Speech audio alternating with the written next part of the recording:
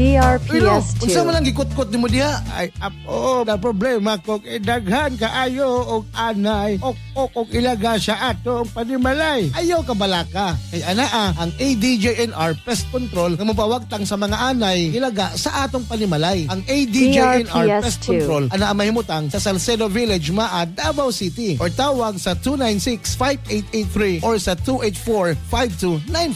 Sige apo, akong tawagan ang ADJNR pest control aron ang mga peste. Goodbye!